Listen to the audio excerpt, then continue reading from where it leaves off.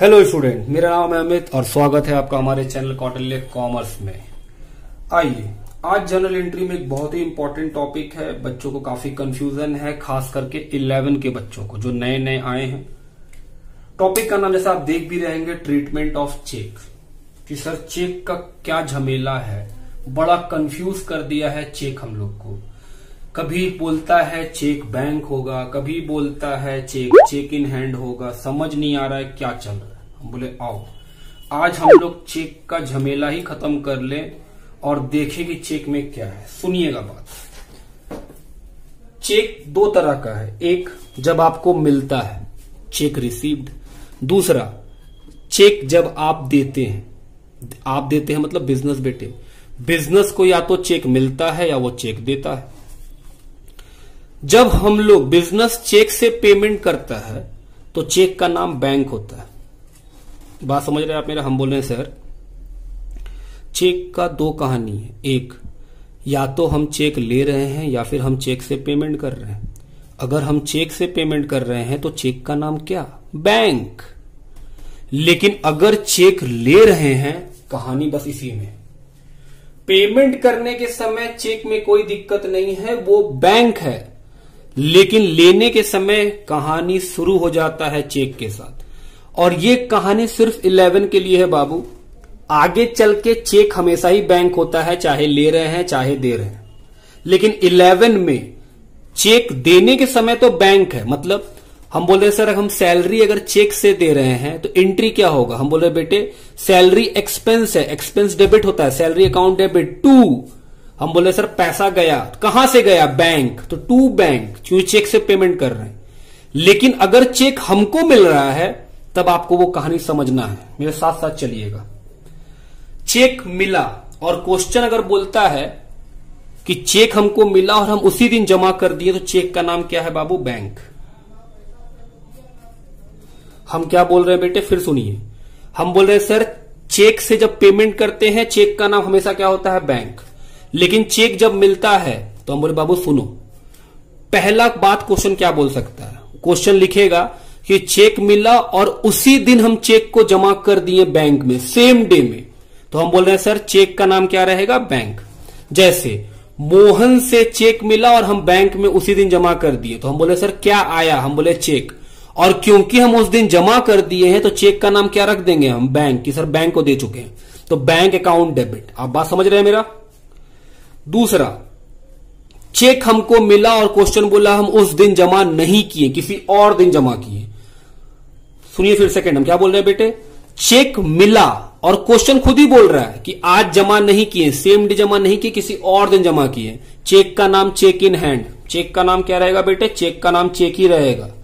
जिस दिन आपको चेक मिला और अगर आप बैंक में जमा नहीं किए क्वेश्चन ये बात बोल दिया है तो चेक का नाम क्या रखेंगे? चेक दो बात पढ़ चुके क्या क्या चेक रिसीव पे चक्कर है, सर। चेक से पेमेंट करने में कोई चक्कर नहीं है। चेक से पेमेंट करते हैं, चेक का नाम बैंक। एकदम यही याद कर लेंगे मुसारा बात चेक रिसीव हुआ, चेक मिला। तो सर, मिला और क्वेश्चन बोला, सेम डे बैंक में जमा कर दिए। चेक का नाम बोलो बेटे, क्या? बैंक। चेक मिला और क्वेश्चन बोल रहा है कि चेक को उस दिन जमा नहीं किए बैंक में मतलब किसी और दिन किए होंगे। तो हम बोले सर, चेक का नाम फिर चेक। बात ठीक? केस नंबर चेक रिसीव ही चल रहा है। दो कहानी पढ़े, तीसरा कहानी। तीसरा ही कहानी है जो सबसे ज़्यादा दिक्कत देता है। सुनिएगा। चेक मिला। क्वेश्चन में लिखा है कि आप चेक रिसीव किए। फिर क्वेश्चन नहीं बताया। जमा हुआ कि नहीं हुआ? बस यहीं से झमेला शुरू है चेक का। बाकी कभी झमेला नहीं था चेक का। हाँ सर। बाकी दोनों में कोई झमेला था ही नहीं। अगर क्वेश्चन बता दिया सेम डे जमा किए तो चेक का नाम बैंक और अगर सेम डे जमा नहीं किए हैं तो चेक का नाम चेक। लेकिन क्वेश्चन नहीं बताया, जमा किए कि नहीं जमा किए। वो बोला, बस चेक मिला। हम बोले, बेटे, अब झमेला शुरू हो गया। तो क्या कीजिएगा? हम बोले, बेटे, चार सिचुएशन हो सकता है। चेक अगर मिलता है और क्वेश्चन कुछ नहीं बताता है तो चार सिचुएशन है। सुनिएगा, सबसे पहले, जिस डेट में आपको चेक मिला, उसके बारे में क्वेश्चन कुछ नहीं बताया कि चेक कब मतलब जमा किए कि नहीं किए तो क्या करना होगा? पहला काम कीजिएगा जिस डेट में चेक मिला है, उसके बाद का सारा ट्रांजेक्शन पढ़ना पड़ेगा। उसके ऊपर का नहीं, लेकिन उसके बाद में जितना ट्रांजेक्शन है, सभी ट्रांजेक्शन को पढ़िए। और अगर जिस चेक जो चेक आपको मिला था, उस चेक के बारे में पूरा क्वेश्चन पढ़ गए उसके बाद हम, और उस चेक के बारे में कोई भी इंफॉर्मेशन मिला ही नहीं उसके बाद। मतलब चेक मान लीजिए हमको मिला चार तारीख को। चार मार्च को हमको चेक मिला, ठीक बेटे? चार मार्च को वो चेक मिला। हम बोले, सर, उसके बाद दस बारह ट्रांजेक्शन और है। हम सभी ट्रांजेक्शन पढ़ गए, लेकिन उस चार मार्च को जो चेक मिला था, उसका इंफॉर्मेशन क्वेश्चन कहीं और कुछ नहीं लिखा उसके बारे में। तब चेक का नाम होगा बैंक। हम बोल रहे हैं, sir, cheque received and no information in the question. Cheque मिला और कोई इंफॉर्मेशन नहीं है क्वेश्चन में whether cheque is deposited in bank or not आपको नहीं पता है जमा है कि नहीं तो क्या करना पड़ेगा? बोले, पहला first read all the transaction after cheque is received चार मार्च को हमको चेक मिला था। चार मार्च के बाद जितना भी ट्रांजेक्शन दिया हुआ है, उन सबको पढ़िए। After reading all the transaction जब आप सारा ट्रांजेक्शन पढ़ ले if you don't find any information regarding the cheque you received अगर आपको चार मार्च को जो चेक मिला था, उसके बारे में कोई भी इंफॉर्मेशन नहीं मिल रहा है then the cheque you received is bank तब चार तारीख को जो चेक मिला था, उसका नाम क्या रखा जाएगा? बैंक मतलब बैंक बोल के एंट्री होगा चेक बोल के एंट्री नहीं होगा. रीजन हम बोल रहे सर, हमको चार तारीख को मिला और हम पूरा तीस मार्च तक पढ़ लिए और कहीं कुछ बताया ही नहीं है क्वेश्चन में. तो हम बोलेंगे, सर, इतना दिन तक चेक अपने पास थोड़ी रखा हुआ होगा। हमको जिस दिन मिला होगा, हम उसी दिन जमा कर दिए ये लॉजिक है बेटे उसका, और कोई लॉजिक नहीं है। तो हम बोल रहे हैं, सर, आप बोल रहे हैं चेक मिला और क्वेश्चन कुछ नहीं बताया तो इंफॉर्मेशन पढ़ेंगे आगे का। हम बोले हाँ। और अगर उस चेक के बारे में पूरा ट्रांजेक्शन में कहीं और कुछ बात ही नहीं किया है क्वेश्चन तो चेक का नाम जिस दिन मिला था, उस दिन किस नाम से लिख देंगे उसको हम लोग? सर बैंक के नाम से लिख देंगे। बात क्लियर हो रहा है मेरा? जी सर दूसरा केस हम बोल रहे बाबू चेक मिला क्वेश्चन कुछ नहीं बताया। हम बोले, सर, सारा ट्रांजेक्शन को पढ़ लीजिए। हम बोले, ठीक, पढ़ लेंगे। जब आप नीचे बाकी ट्रांजेक्शन पढ़ने लगे तो उस चेक का इंफॉर्मेशन जो आपको चार तारीख को मिला है, उस चेक का इंफॉर्मेशन किसी और डेट में मिला। और वहाँ पे लिखा हुआ है, मान लीजिए, चार तारीख को चेक मिला और फिर क्वेश्चन नहीं बताया। कि जमा किए कि नहीं किए। तो हम क्या करेंगे? पहले हम पढ़ना शुरू कर देंगे उसके नीचे से सारा ट्रांजेक्शन पढ़ते पढ़ते दस तारीख को आए तो दस तारीख को लिखा हुआ है कि चार तारीख वाला चेक हम दस तारीख को जमा कर दिए। आप बात समझ रहे हैं? इंफॉर्मेशन मिल गया उसका। और क्या लिखा है वो? कि दस तारीख को जमा किए। तो हम बोल रहे हैं, सर, जिस दिन चेक मिला होगा, उस दिन चेक चेक ही रह जाएगा। क्योंकि आप तो दस को बैंक में जमा किए तो जिस दिन मिला है, उस दिन जमा किए नहीं आप। और जब जमा नहीं किए हैं तो चेक का नाम क्या है बेटे? Cheque. First read all the transaction after you receive the cheque cheque मिलने के बाद आप बाकी सारा ट्रांजेक्शन पढ़िए। If you find that your cheque is deposited on some other date then the day you receive the cheque is cheque क्या मतलब? हम बोले बेटे, जब आप ट्रांजेक्शन पढ़े तो आपको आपका चेक का इंफॉर्मेशन मिल गया। और वहाँ लिखा हुआ है कि इस चेक को हम इस दिन जमा किए। चार तारीख को मिला और दस तारीख को हम जमा किए। दस तारीख को जब हम पहुँचे तो लिखा हुआ है cheque received on four March is deposited in bank तो हम बोल रहे हैं, सर तो फिर चार तारीख को जब चेक मिला था, वो चेक आपके पास पड़ा हुआ रह गया। तो चेक का नाम क्या? चेक जमा कर देंगे तो बैंक हम बोले, ठीक। दो बात क्लियर हो गया। हम बोले हाँ। पहला बात क्या था? मेरे साथ साथ बोलिए बेटे। सर, पहला बात था चेक हमको मिला और क्वेश्चन कुछ नहीं बताता है तो पहला केस सारा ट्रांजेक्शन पढ़िए अगर पूरा ट्रांजेक्शन में कहीं भी उस चेक का बात नहीं मिलता है तो वो चेक जिस दिन मिला था, उसी दिन हम लोग बैंक के नाम से लिख देंगे। दूसरा, हम बोले सर, चेक मिला और क्वेश्चन कुछ नहीं बताया आगे। तो हम लोग सारा ट्रांजेक्शन पढ़े। अगर उस चेक का किसी ट्रांजेक्शन में लिखा मिल गया कि हम उस दिन जमा कर दिए, किसी अलग दिन में जमा कर दिए तो जिस दिन चेक मिला होगा, उस दिन चेक का नाम क्या रहेगा? चेक। तीसरा, चेक मिला चार तारीख को क्वेश्चन कुछ नहीं बताया, हम आगे पढ़ना शुरू किए। उसके बाद किसी डेट में लिखा हुआ है चेक डिजॉनर। समझ रहे हैं बात? हम बोल रहे हैं, सर, किसी डेट में लिखा हुआ है कि चेक डिजोनर हो गया डिजोनर का मतलब क्या होता है बेटे? आप जिस आदमी का चेक लिए हैं, उसका चेक बाउंस कर गया, उसके अकाउंट में पैसा ही नहीं है। उसको बोलते हैं डिजॉनर हो जाना। ठीक बात? आप समझ रहे हैं? बाउंस करना, चेक बाउंस करता है। कब करेगा? मान लीजिए आप हमको हज़ार रुपया का चेक दिए, हम जाके बैंक में दिए, बैंक वाला बोल रहा है, इसका अकाउंट में पैसा ही नहीं हज़ार रुपया तो चेक क्या हो जाएगा? बाउंस हो जाएगा। उसी को अकाउंटिंग टर्म में बोलते हैं चेक डिजॉनर होना, ठीक बात? तो हम लोग कहा थे? हम बोले थे, सर चेक मिला, कुछ नहीं बताया तो first read all the transaction after you receive the cheque cheque मिलने के बाद का सारा ट्रांजेक्शन पढ़िए। If you find that if you find that your cheque is dishonour on some other day then the day you receive the cheque is bank. बोल रहा है, हम क्या लिखे हैं? कि अगर आप पाते हैं कि आपका चेक डिजॉनर हो गया है मतलब चार तारीख को चेक मिला, बारह तारीख को लिखा हुआ है कि the bank dishonour the cheque received on fourth of March. तो हम बोल रहे हैं, सर, किसी अलग डेट में अगर क्वेश्चन बोलता है कि आपका चेक डिजॉनर हो गया है तो चेक का नाम क्या होगा? जिस दिन चेक मिला था चार तारीख को, बैंक। क्योंकि, सर अगर आपका चेक डिजॉनर हुआ है तो पक्का बात है कि आप चेक बैंक में जमा किए तभी तो बाउंस किया। घर में बैठे, रखे रखे तो चेक बाउंस नहीं किया होगा। तो चार तारीख को जो चेक मिला होगा, चेक कहाँ जमा कर दिए? बैंक में। तो चेक का नाम क्या? बैंक। बात समझ में आ रहा है? और एक और सिचुएशन हम बोल रहे हैं, सर, चेक मिला, क्वेश्चन कुछ नहीं बताया। तो फिर क्या करना पड़ेगा? सर, पहले तो आप बोले, ट्रांजेक्शन पढ़ो।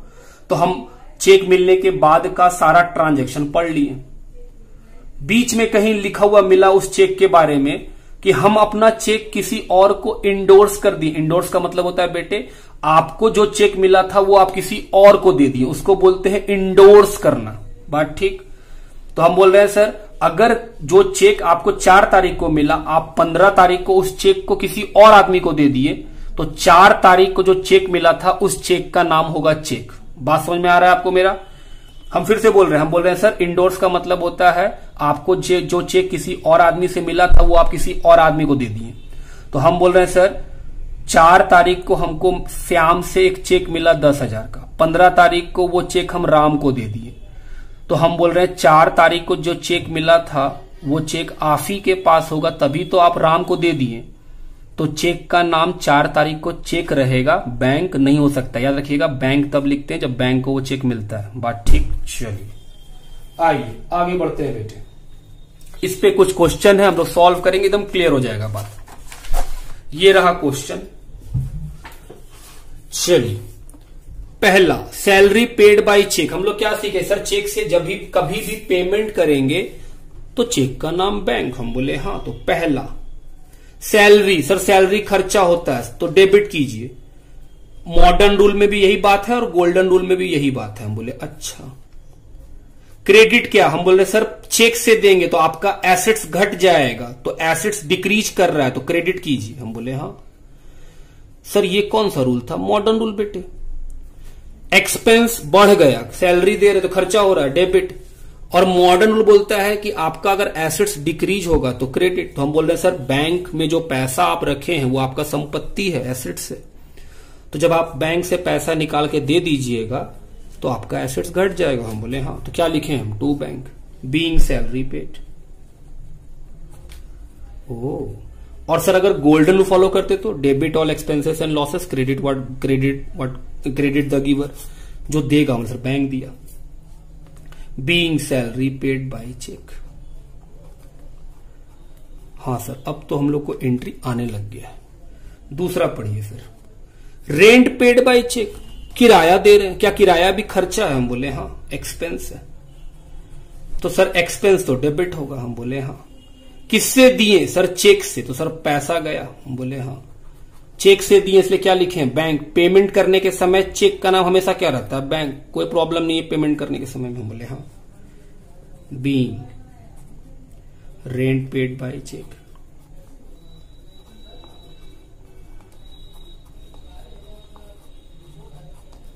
बात समझ में आती है? जी सर, आओ बेटा, आगे बढ़े। पहले क्वेश्चन पढ़ लो तीसरा number. Goods purchase and payment made by cheque rupees पंद्रह हज़ार। बोल रहा है, सामान खरीदे गुड्स खरीदे, कितना का? पंद्रह हज़ार का। और पेमेंट कैसे किए? चेक से। मतलब सर, उधारी नहीं चल रहा, नगद में चल रहा। हम बोले हाँ। तो सामान खरीदने का एंट्री क्या होगा बाबू? बताओ। सर परचेज अकाउंट डेबिट सामान मेरे लिए आया गुड्स आएगा तो डेबिट हम बोले हाँ पंद्रह हज़ार। पेमेंट कैसे किए? सर, चेक से। तो सर, पेमेंट करने के समय चेक का नाम क्या? बैंक। तो सर, पैसा गया। Credit what goes out. हम बोले हाँ पैसा जा रहा है लेकिन बैंक से। Being goods purchase. And paid through bank.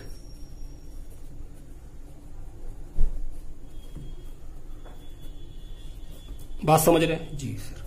चौथा आओ, चौथा पढ़े पहले क्वेश्चन क्या है चौथा? Sold goods for rupees twelve thousand आप इन सभी बातों को कॉपी कर रहे होंगे. क्वेश्चन आंसर सब sold goods for rupees twelve thousand and receive cheque बोल रहा है, बारह हज़ार में गुड्स बेचे और चेक मिला. Cheque is deposited into the bank same day लो बेटे, बता दिया. जो चेक आपको मिला, उसी दिन बैंक में जमा कर दिया. हम लोग क्या पढ़े थे कि, सर चेक अगर मिलता है और क्वेश्चन बोलता है, उसी दिन जमा कर दिए। तो चेक का नाम क्या? बैंक। तो हम बोले, सर, पैसा आया। हम बोले हाँ चेक आया। तो चेक का नाम क्या लिखेंगे? Sir, bank. क्यों? क्योंकि उसी दिन जमा किए, ऐसा क्वेश्चन बोला है। कितना रुपया? सर, बारह हज़ार। क्रेडिट क्या होगा? सर, सामान गया। Credit what goes out. To sales. Being good sold. And check received. Goods sold. And check receive पांचवा नंबर पढ़िए। पांचवा number hmm. Cheque receive from Ram twenty thousand and deposited into bank after two day बोल रहा है check Ram से मिला और bank में दो दिन बाद जमा किए। तो हम बोले सर जिस दिन मिला है चेक, उस दिन जमा नहीं हुआ है। तो हम लोग क्या पढ़े थे? कि चेक अगर मिला और उस दिन जमा नहीं किए तो चेक का नाम क्या रहेगा? चेक। क्वेश्चन बताया है कि उस दिन जमा नहीं किए। तो एंट्री क्या होगा? सर, चेक आया तो चेक का नाम चेक। तो चेक इन हैंड, इसको चेक इन हैंड लिखते हैं बाबू, क्योंकि हाथ में चेक है। कितने रुपए का? बीस हज़ार। क्रेडिट क्या होगा? क्रेडिट, द गिवर, देने वाला क्रेडिट होता है, सर। अब तो हम लोग को आ गया है सब पढ़ना। अब हम लोग गोल्डन रूल हम लोग भी लगा लेते हैं। हम बोले वेरी गुड तो टू राम, कौन सा रूल फॉलो हुआ? Debit what comes in credit the giver क्योंकि कुछ जा थोड़ी रहा है। Being cheque receive from Ram. Sir cheque क्यों लिखे? क्योंकि बेटे क्वेश्चन में क्या लिखा है? दो दिन बाद जमा करेंगे। मतलब आज जो चेक मिला है, वो तो आज में हाथ में ही है। तो चेक का नाम चेक हम लिख के भी रखें कि चेक अगर मिलता है और उस दिन जमा नहीं करते हैं बैंक में तो चेक का नाम चेक रहता है। हाँ सर, याद आ गया। चलो। Being cheque receive from Ram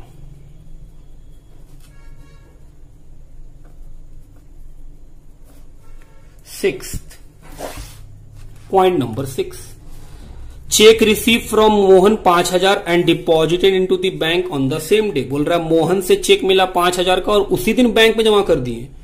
तो चेक जिस दिन मिलता है और अगर हम उसी दिन बैंक में जमा कर देते हैं तो चेक का नाम क्या? Sir, bank.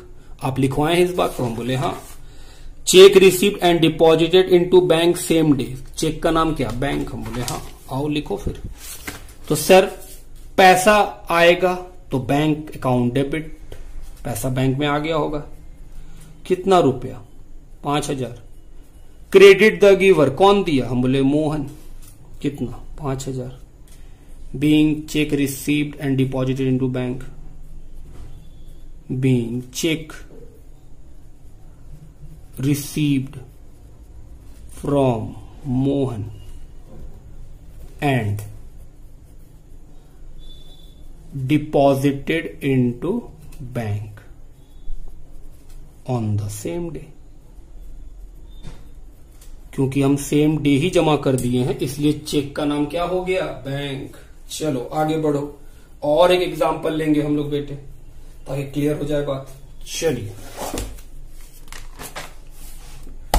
आओ, और एक example started business with cheque एक लाख। बिज़नेस स्टार्ट किए। सर, मालिक दिया पैसा। हम बोले हाँ। चेक से दिया। क्या क्वेश्चन बताया है? चेक बैंक में जमा किए हैं कि नहीं? हम बोले, नहीं सर। तो हम लोग क्या सीखे थे? अगर क्वेश्चन नहीं बताएगा तो पूरा क्वेश्चन पढ़ना पड़ जाएगा। आओ पढ़ें। चेक कब मिला है? एक अप्रैल 1999 को। इस चेक के बारे में अगर पूरा क्वेश्चन में कोई इंफॉर्मेशन नहीं मिला तो चेक का नाम बैंक हम फिर से बोल रहे हैं, हम क्या बोल रहे हैं? हम बोल रहे हैं, बेटे, अगर चेक हमको एक तारीख को मिला, फिर हम पूरा क्वेश्चन पढ़ गए बीस तारीख तक। और हमको इस एक तारीख वाले चेक के बारे में कुछ नहीं पता चला तो चेक का नाम क्या रख देंगे? बैंक बात ठीक सुनिएगा। दो तारीख को। सोल्ड गुड्स दस हज़ार एंड चेक रिसीव्ड इसके बारे में तो नहीं है। चेक रिसीव्ड फ्रॉम राम इसके बारे में नहीं है। चेक रिसीव्ड फ्रॉम मोहन इसके बारे में नहीं है। चेक रिसीव्ड फ्रॉम श्याम इसके बारे में नहीं है। चेक रिसीव्ड ऑन दो चार। तो सर, ये दो चार के बारे में बात कर रहा है। मतलब इस चेक के बारे में बात नहीं कर रहा, क्योंकि ये चेक कब मिला था? एक चार को। फिर बोल रहा है cheque receive from Mohan is dishonour sir, ये भी नहीं है। चेक रिसीव फ्रॉम श्याम ये भी उसके बारे में नहीं बात कर रहा है। सोल्ड गुड्स पाँच हज़ार पेड बाय चेक, वो तो बात है, परचेज गुड्स, सर, उसके बारे में बात ही नहीं है, परचेज मशीन। तो सर, पूरा क्वेश्चन पढ़े और कहीं पर भी हमको एक चार उन्नीस सौ निन्यानवे को जो चेक मिला था, उसके बारे में क्वेश्चन कुछ नहीं बोला। तो हम लोग क्या लिखे थे? कि सर, चेक अगर मिले और क्वेश्चन कुछ नहीं बताए तो हम लोग को बाकी का ट्रांजेक्शन पढ़ना पड़ता है। हम बोले हाँ। तो बाकी सारा ट्रांजेक्शन पढ़ने के बाद अगर उस चेक के बारे में कुछ भी मालूम ना चले तो वो चेक का नाम क्या रखेंगे? बैंक। तो एंट्री क्या होगा? सर, जो आएगा वो डेबिट हम बोले, बिल्कुल डेट लिखो, एक चार निन्यानवे। क्या आया? हम बोले चेक और चेक का नाम क्या? बैंक। हम बोले हाँ सर, अब समझ में आ गया है, बैंक, क्योंकि इस चेक का इंफॉर्मेशन पूरा ट्रांजेक्शन में कहीं नहीं है। हम बोले हाँ। टू कौन दिया? हम बोले, सर, कैपिटल मालिक दे रहा है। तो ओनर का नाम क्या? कैपिटल। Credit the giver. और जो मॉडर्न पढ़ रहे होंगे increase in assets increase in liability हम बोले, हाँ। Being started business with cheque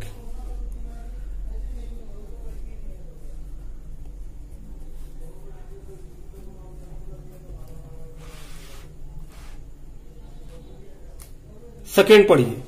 sold goods दस हज़ार एंड चेक रिसीव्ड बोल रहा है, सामान बेचे दस हज़ार का और चेक मिला। अब जमा हुआ है कि नहीं हुआ है, पता नहीं। फिर पढ़ना पड़ेगा। तो हम बोल रहे सर, जो दो तारीख को चेक मिला है, उसका इंफॉर्मेशन छह तारीख को है। सुनिए। चेक रिसीव्ड छह तारीख को पढ़ रहे हैं बेटे। चेक रिसीव्ड ऑन पहले आप तीन को पढ़े, चार को पढ़े, पाँच को पढ़े, इन सब में दो तारीख का कोई मतलब नहीं था। लेकिन जैसे हम छह तारीख को पहुँचे तो वहाँ लिखा हुआ है, चेक रिसीव्ड ऑन दो चार उन्नीस सौ निन्यानवे डिपोजिटेड इन टू बैंक छह तारीख को ये चेक जमा हुआ है। तो इसका मतलब हुआ कि दो तारीख को जो चेक मिला था सामान बेच करके, वो जमा करने बैंक में कब गए? छह तारीख को। तो हम बोल रहे हैं, सर, दो तारीख वाला जो बैंक चेक है, उसका नाम क्या? हम बोले, चेक का नाम चेक। लिखवा के भी रखे हैं कि अगर चेक हमको मिले और फिर नीचे किसी ट्रांजेक्शन में उस चेक को किसी और दिन जमा करने का बात मालूम चले तो जिस दिन चेक मिलता है, उस दिन चेक का नाम क्या है बेटे? चेक। तो हम लोग क्या लिखेंगे? Sir, cheque in hand account debit हम बोले वेरी गुड चेक का नाम चेक। क्यों लिख रहे हैं चेक? क्योंकि सर, इस दो तारीख वाले चेक को आप दो तारीख को जमा थोड़ी किए कब जमा किए छह तारीख को। तो सर, जिस दिन मिला होगा, उस दिन तो हाथ में चेक ही रखा रह गया होगा आपके। हम बोले हाँ। To, sales account. कितना रुपया? बीस हज़ार। सॉरी, दस हज़ार। Been, sold goods and cheque received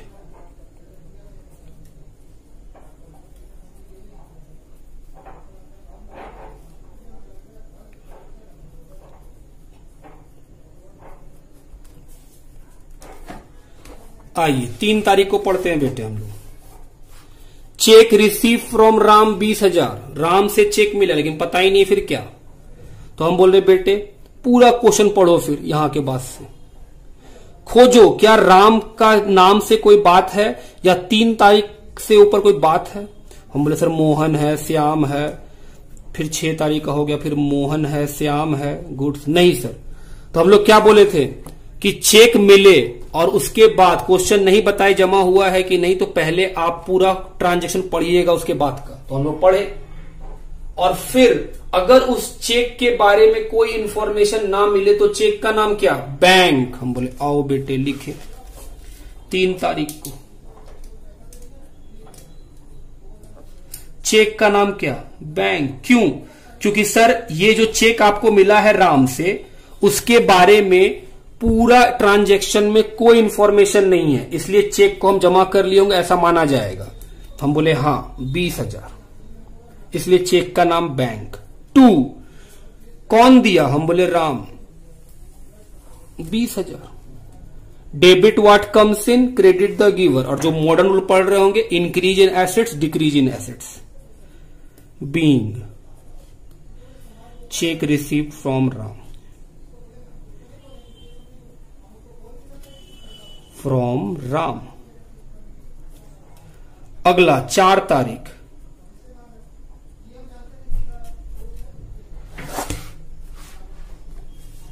check receive from Mohan तीस हज़ार। मोहन से तीस हज़ार का चेक मिला।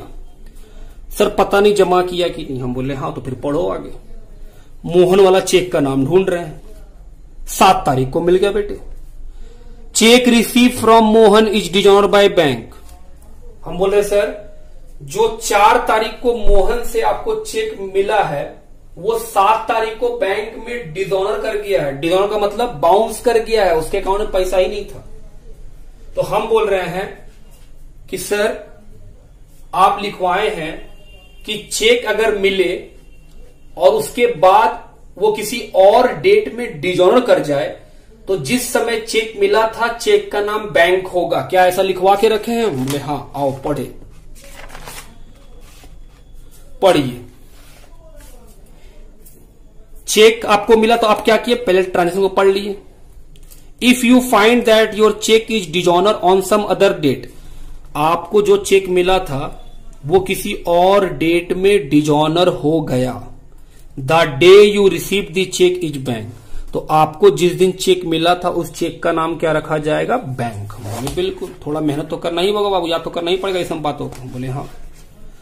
चलिए। तो सर, जब मिला था तो उसका नाम क्या? बैंक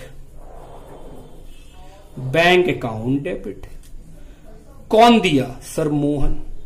बोले वेरी गुड कितना? तीस हज़ार।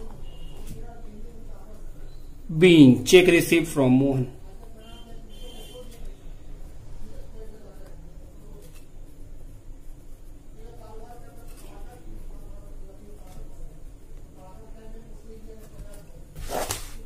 पांचवा तारीख। चेक रिसीव फ्रॉम श्याम चालीस हज़ार। लो, फिर चेक मिला, लेकिन पता नहीं जमा हुआ है कि नहीं। तो आगे पढ़ो। देखो, आठ, दस तारीख को। जो चेक पाँच तारीख को मिला था, उसका इंफॉर्मेशन कब है? दस तारीख को। Cheque receive from Shyam is endorse to mister X endorse का मतलब किसी और को दे देना। हम बोल रहे सर, पाँच तारीख को जो चेक श्याम से मिला था दस तारीख को वो चेक हम मिस्टर एक्स को दे दिए। तो हम बोल रहे, सर, आप लिखवाए थे कि अगर चेक के बारे में कोई इंफॉर्मेशन नहीं हो तो पहले पूरा ट्रांजेक्शन पढ़ो। हम बोले हाँ। उसके बाद, अगर वो चेक के बारे में कहीं इंफॉर्मेशन मिल जाता है कि वो चेक किसी और आदमी को दे दिए हैं तो जिस दिन चेक मिला था, उस दिन चेक का नाम चेक क्या हम ऐसा लिखवा के रखे हैं? बिल्कुल। आओ पढ़ ले एक बार उसको, ताकि आपको याद हो जाए।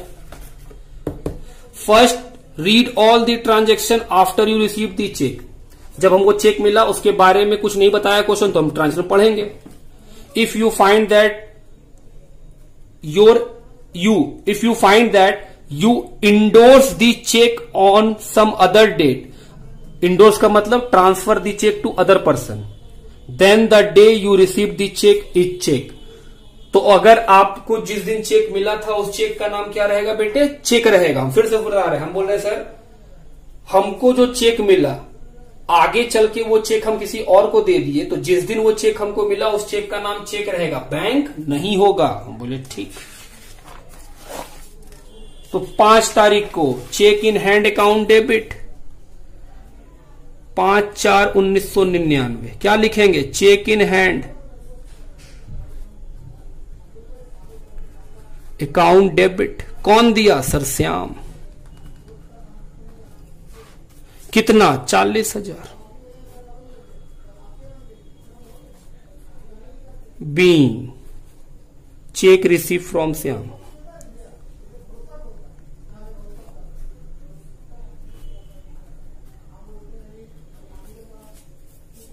बात ठीक? अगला पढ़ो बेटे, छह तारीख। चेक रिसीव दो चार निन्यानवे डिपॉजिट टू बैंक बोल रहा है। जो चेक आपको दो चार को मिला था, उसको बैंक में जमा कर दिए। तो हम बोल रहे हैं, सर, दो चार को जो मिला था चेक, वो हम किसको दे दिए? बैंक को। रूल पहला डेबिट वाट कम्स इन हम बैंक को चेक दिए, क्या मेरे पास कुछ आया? हम बोले, नहीं। दूसरा डेबिट द रिसीवर जो हमसे लेगा, उसको डेबिट करेंगे। क्या ये चेक हमसे कोई ले रहा है? हम बोले हाँ सर बैंक ले रहा है। तो हम डेबिट में किसको लिखेंगे? बैंक को।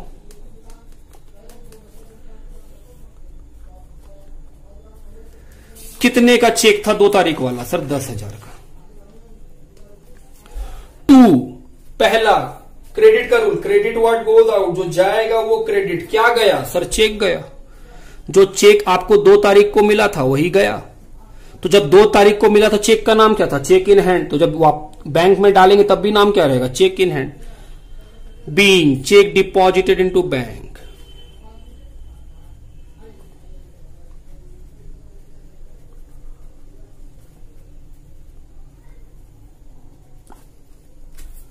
अगला। सात तारीख को cheque receive from Mohan is dishonour by bank इसका मतलब जो चेक आपको मोहन से मिला था, वो बैंक वापस कर दिया। तो हम बोले सर बैंक आपको दिया और आप उस चेक का क्या कीजिएगा? आप मोहन को दे दीजिए, क्योंकि चेक का असली ओनर कौन है? मोहन। वही तो चेक दिया था, वो चेक आपको दिया, आप बैंक को दिए थे। बैंक बोला, अब पैसा नहीं है, चेक ले जाओ। तो हम चेक ले जाकर के अपने पास रख के क्या करेंगे? हम चेक किसको दे देंगे? मोहन को। तो चेक हमसे कौन लिया? मोहन। और हमको चेक कौन दिया? बैंक। तो हम बोले सर, हम मोहन को दिए, बैंक हमको दिया। एंट्री क्या बनेगा? हम बोले, sir debit what comes in. हम बोले, चेक आया। हम बोले, चेक ज़रूर आया। फिर आप उसको चेक को अपने पास थोड़ी रखिएगा। आप किसको दे दिए? मोहन को। तो पहला रूल क्या लगेगा? डेबिट द रिसीवर जो लेगा वो डेबिट तो कौन लिया? मोहन। क्योंकि आपका वो चेक ही नहीं है तो आप दे दिए मोहन को। चलिए। डेट है सात तारीख।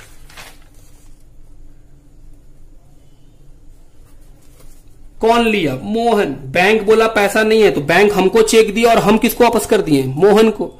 हम बोले, भाई मोहन, तुम्हारे पास तो पैसा ही नहीं है। अपना चेक पकड़ो।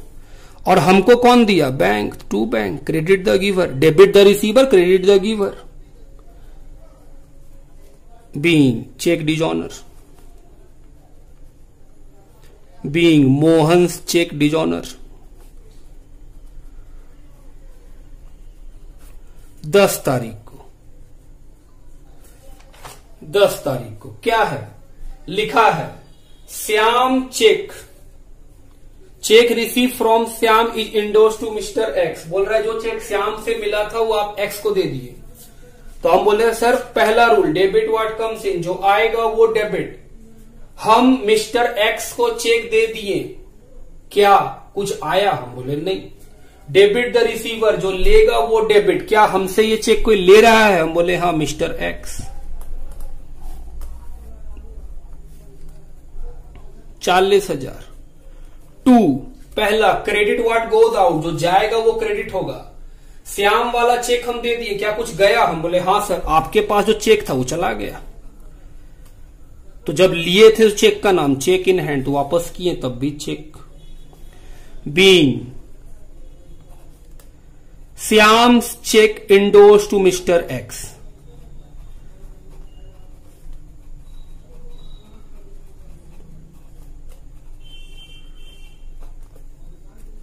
यहाँ तक हो गया बात? आगे बढ़िए सर, हम बोले, आओ आगे बढ़े।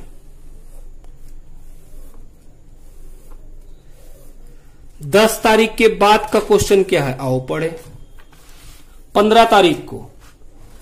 Purchase goods five thousand and paid by cheque. सामान खरीद रहे हैं, पेमेंट चेक से कर रहे हैं। सर, आप सिखाए थे कि जब भी चेक से पेमेंट करेंगे, चेक का नाम क्या लिखेंगे? बैंक। पेमेंट करने के समय चेक का नाम बस एक ही गो है। वो क्या है? बैंक। बोले हाँ आओ लिखे। पंद्रह अप्रैल 1999 तो फिफ्टींथ ऑफ़ अप्रैल 1999 का एंट्री सर, सामान खरीद रहे हैं गुड्स आएगा purchase account debit to cheque से पेमेंट किए चेक का नाम क्या? बैंक पाँच हज़ार पाँच हज़ार। Being goods purchase and paid by cheque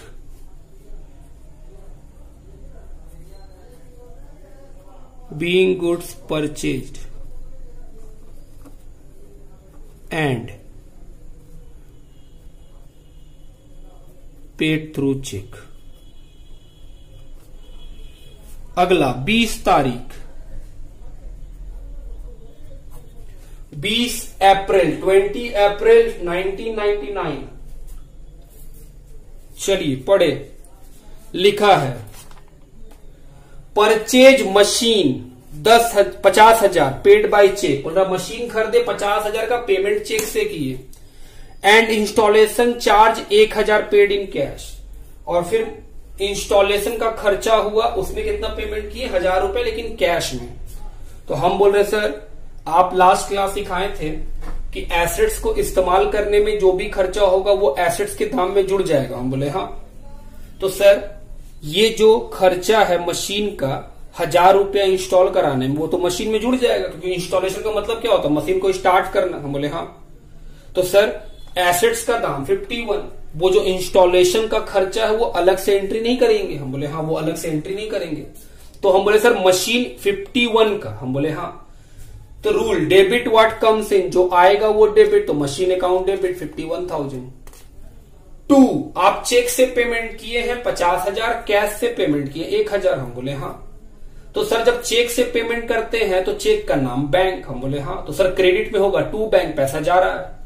और जो इंस्टॉलेशन आप कैश में किए हैं, उसके लिए टू कैश तो बैंक में पचास हज़ार कैश में एक हज़ार हम बोले हाँ debit what comes in credit what goes out आओ, लिखे, क्या होगा एंट्री बेटे सर मशीन अकाउंट डेबिट अच्छा machine account debit fifty one thousand हाँ sir fifty one thousand to cheque से कितना पेमेंट हम बोले पचास। और चेक का नाम पेमेंट करने के समय क्या? Sir, bank.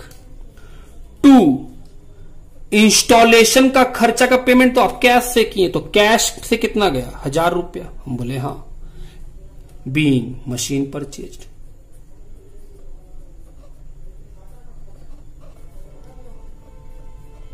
machinery purchase बात समझ रहे आप मेरा? तो बेटे, ये टॉपिक था चेक का। चेक पे बहुत लोगों को डाउट है, उम्मीद करते हैं, आप बात को समझ रहे हैं। चेक के ऊपर जो बात लिखे हैं, उसको ध्यान से पढ़िए, इस एग्ज़ाम्पल को बनाइए।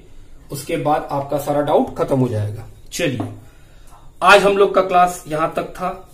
अगर आप इस चैनल पे नए हैं तो चैनल को सब्सक्राइब करो बाबू, ताकि आगे और भी वीडियोस आएँगे क्लास इलेवन के ट्वेल्व के और बीकॉम के। चलिए, तब तक के लिए सबको थैंक यू घर में रहिए सेफ़ रहिए बाय बाय